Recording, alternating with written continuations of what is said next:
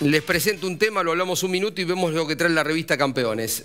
La televisación es muy buena, muy buena, ¿eh? del turismo carretera, pero nada suple lo que es estar en un circuito y por eso cuando uno va a la sensación esta que a veces de que la vio por la tele y dice, y no fue tan, tan buena, pero el que estaba ahí veía en el nivel dónde frenaban, cómo se movían los autos, el ruido encantador de los motores de turismo carretera, lo subrayamos, lo volvemos a decir.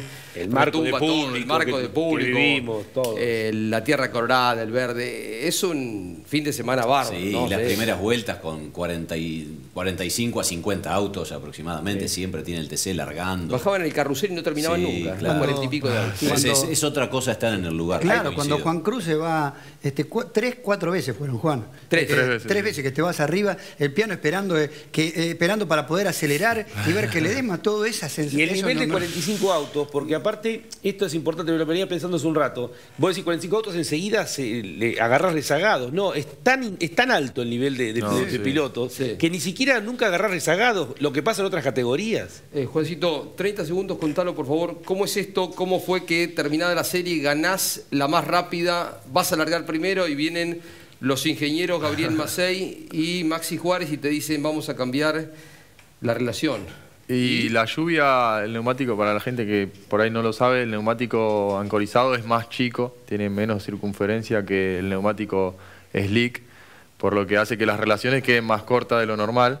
En la lluvia habíamos quedado corto, pero bueno, nos servía. Sobre todo la última curva, yo la transitaba en segunda marcha y decidimos para el otro día piso seco alargar la relación un poquito, eh, un puente que me pasé de hacer todo en segunda a la última curva y otras, otras variables más a hacerlo en un cambio menos. Lo que en cinco vueltas por ahí no me, no me complicaba, no me perjudicaba, eh, para la final por ahí me perjudicaba en las que tenía que salir en primera el comprometer la tracción. Así que decidimos en conjunto. En realidad vinieron los ingenieros y dijimos vamos a cortar de nuevo. Y vos y Y Trota faltaba, ¿qué pasa? y faltaba dijo, una hora, no sé. Y estaba Esteban y dijo, Juan, ¿vos estás de acuerdo? Y yo tenía a los dos ingenieros atrás, con los, col- Presionando. con los colmillos así, y dijo, yo no quiero correr riesgo. Si los ingenieros dicen que sí, Vamos. cambiala. Y fue así que la cambiaron, fue un acierto, porque mm, ese pequeñito detalle hizo que podamos administrar mucho mejor la tracción en un circuito como eh, Posadas, que depende mucho de eso. El ritmo ayuda muchísimo. Qué que- seguridad que hay que tener, ¿eh? Para decir, porque es un trabajo que lleva 40 minutos más o menos. Y más o menos, entre 40 minutos y una hora. Pero bueno, ahí está, ahí demuestra la capacidad de los dos monstruos, que tengo al lado. La misma capacidad de clasificación, de poner los autos para la clasificación, a ojo también, porque fue todo, digamos, Sí. mucha lluvia, poca lluvia, y la capacidad para adaptar el auto del domingo al sábado, donde había parado, eh, había, había secado.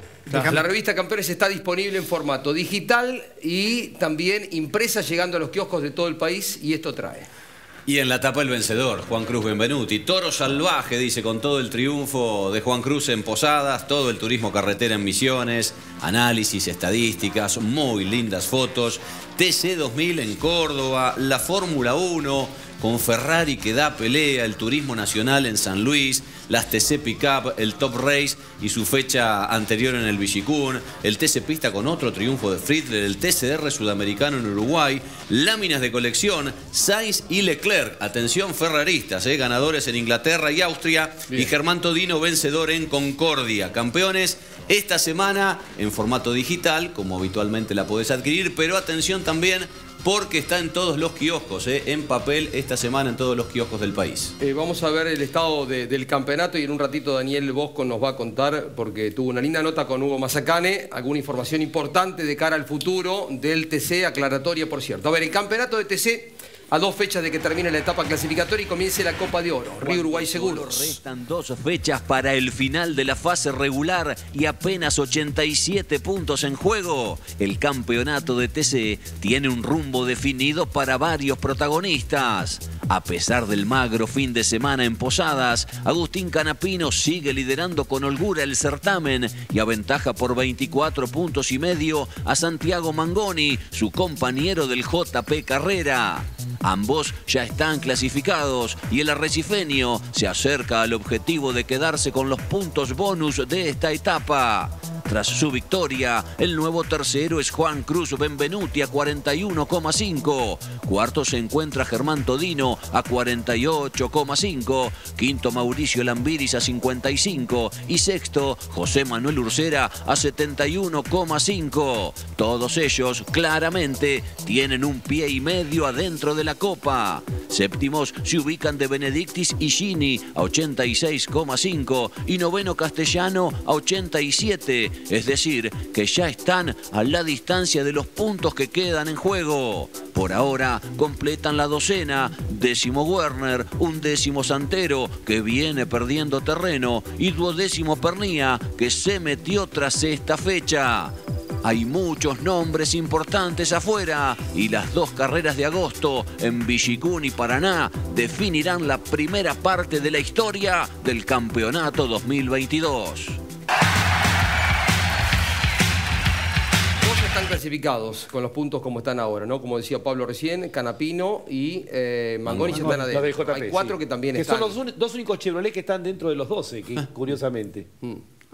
Eh, Hay cuatro que están. Sí, hasta, hasta el sexto están adentro. Yo creo que los que siguen Sí. atrás. Benvenuti, hasta- Todino, Lambiri, Surcera. Sí. De Benedicti Sí. casi adentro también. Sí, también. Jonito y Gini yo creo que también. Y después, bueno, ya Ahí viene empieza la un poco la discusión de lo que pueda pasar en Villicún, que es una carrera rara, como charlábamos hace un ratito. Ahora vos fíjate que eh, hoy está en puesto 12 Pernía. Sí. Guarlín está a 3 puntos de Pernía. Sí. Arduzo a 5 de Pernía. Ah, Bonelli a 9. Ciantini a 9 y medio. O sea, por eso mencionábamos hoy en el primer bloque que va a ser una batalla, yo creo que por el puesto 12 A fundamentalmente. Rossi, Rossi está 19, hay Sí. cuatro en el medio, pero larga en el segundo grupo la ¿Ledesma carrera. dónde está? Lejos, ¿eh? No, Ledesma está 19 a 29,5 Y está en Mar del Plata. del décimo, del décimo segundo. Entonces Lindo no fin de lejos. semana, Cristian. Felicitaciones por la pole, por el segundo puesto, por el regreso a los primeros planos. Un abrazo. ¿Qué tal, chicos? Buenas noches para todos. Un abrazo, bueno, gracias. Tuve un muy lindo fin de Qué lindo fin de metiste, ¿no? Estuvo bueno. La verdad que un fin de semana bastante co- complicado en lo climático y todo lo que implementó, digamos, todo lo que implicó ser, eh, estar clasificando bajo el agua, que hacía mucho que no lo hacíamos, en un día, un día bastante complicado en, en función de lo climático y con la pista, así que, bueno, por suerte pudimos tener una buena clasificación y, bueno, revalidarlo el domingo. Se pueden saludar con Juan Cruz Benvenuti. Él está aquí con nosotros. eh, cerquita en la pista estuvieron ayer, ¿eh? Bueno, Juancito, ahí lo tenés.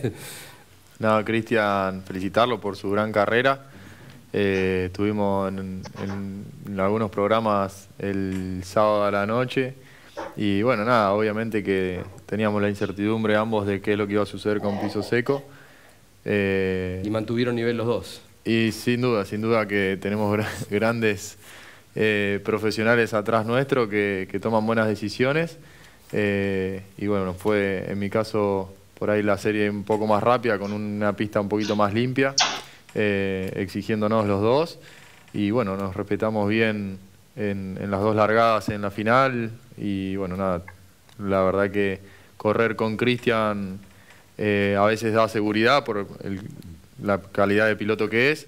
Si bien hemos tenido algún que otro cruce normal de, de, bueno del deporte, Cristian siempre me respetó, eh, me habló muy bien siempre y bueno, obviamente como admirador del automovilismo lo admiro como piloto y es un placer poder correr con, contra pilotos como él.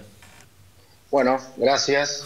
Eh, bueno, ya hice mis felicitaciones ayer. La verdad que tuvo un, tuvo un buen auto donde lo aprovechó muy bien y, bueno, es, una, pista bastante complicada, posadas en función de, de dejar algo en mitad de carrera en adelante. A mí me salió en los puntos, no. es mi estilo de correr también, de, de no tirarse a, todo nada para, para poder perder todo lo que ha- había ganado y todo lo bueno que venía haciendo. Así que bueno, mis felicitaciones a Juan Cruz y a todo su equipo también por el gran trabajo que hicieron. Cristian, eh, qué vueltita la de la clasificación, nos hizo acordar a los tiempos eh, allá de, de inicio tuyo en el TC con tantas pol. Decíamos en la transmisión de Radio Continental, había un momento, y les contamos a los más jóvenes, que le preguntabas quién es el piloto más rápido de la Argentina, y le preguntabas a 19, decían Ledesma, o decíamos Ledesma. ¿Y por qué no lo dicen ahora? Porque hace rato que hace bueno, el sábado lo, dijimos, el sábado lo dijimos. Decía Enzo Ferrari que por cada hijo se perdía un segundo, Cristian, así que... Yo siempre insisto en lo mismo. Ferrari ese día se había tomado unos vinos. No, no hay chance de eso. No hay chance, obviamente, a medida que va pasando el tiempo, uno tiene que ir optimizando y trabajando. Bueno, ya estoy cansado de decirlo. Obviamente no, no, no, no viene. Es, es un poco la moda que, obviamente, y una cuestión normal, el recambio de generación, que vienen alentando Claro. chicos más jóvenes. Eh, pero bueno, es según lo que uno acepte o no. Hay pilotos de mi edad que tienen un buen funcionamiento y el mismo, el mismo, las mismas performances que la mía en otras categorías y tienen la misma edad mía. Y por ahí ellos no aceptan o no, no bromean con este tipo de, de- lo de la edad, ¿no? Yo creo que lo que uno sabe hacer, eso no se olvida. Eh, y en este caso, hoy en día, cada vez son más carreras de autos, independientemente de que obviamente siempre hay que manejarlo, ¿no? Pero hoy, hoy está todo tan apretado, estamos hablando de que hay 10, 11 o 12 autos en un segundo abajo del agua, cuando antes, antes había capaz que dos o tres, y hay a veces más de 30 autos en un segundo en una pista normal. Entonces, no es fácil la situación y se depende hoy en un automovilismo donde está todo muy, muy reglamentado, muy prácticamente prohibido, no hay pruebas, eh, muy pocas, está todo muy limitado, los desarrollos y todo. Es una cuestión obvia, una cuestión económica. Entonces hace mucho más difícil poder sacar diferencia con algo y bueno, eso hace que todo se apriete mucho más. Queríamos tenerte estos minutos, Cristian, eh, el reconocimiento por eh, el gran fin de semana que, que hiciste. Te vimos justificadamente emocionado el sábado después de la pole, casi ocho años de la última. Queríamos tenerte aquí en Campeones. Te mandamos el respeto de siempre, el abrazo. Bueno, gracias, un cariño para todos, para toda la audiencia y un cariño grande a toda la mesa. Eh, ahí está Ledesma. Eh, adelantame algo de Mazacane, lo que hablaste con él, porque cuando pagaste Candy alguna cosa más sacaste como No, información. no, no, no, no, no, no, no, creo que fue muy abierto en todo aquello que, que viste, en este momento había rumores por aquello de una o dos fechas más. Es muy importante lo que dijo del TC Pickup, porque algunos especulaban que podía llegar a abrirse un camino televisivo diferente y esto le quitaba espacio al turismo nacional. Exacto, bueno. No es así. No es así. Este, el TC Mouras, el TC Pista Mouras y las TC Pickup seguirán juntas. Eh, de lo de las fechas, bueno, lo que ya se hablaba de dos fechas más para el año próximo, la inserción de otras nuevas marcas. Bueno, nos contó abiertamente todo, te diría que no se guardó nada. El Calafate eh, va a estar en abril seguramente el año que viene. Se habla que se vuelve al Autódromo de Buenos Aires con una carrera de dos pilotos.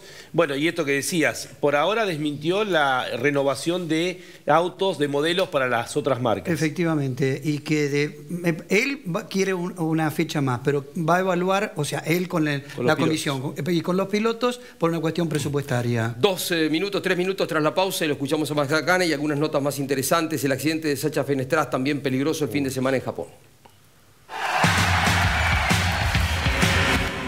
Colcar, concesionario oficial Mercedes-Benz. Edman, distribuidor de ópticas y faros VIC. Instale VIC y conduzca con seguridad. Distribuye para todo el país Edman. En internet edman.com.ar.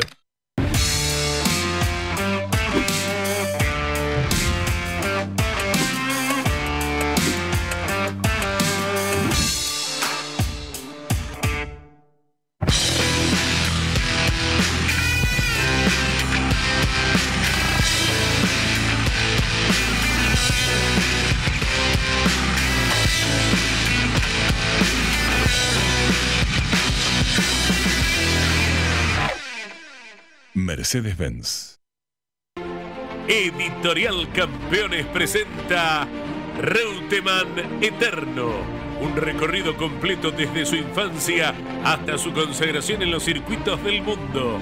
300 páginas con cada detalle de su trayectoria. Una obra única. Reutemann Eterno, biografía homenaje, exclusivo de Campeones Libros.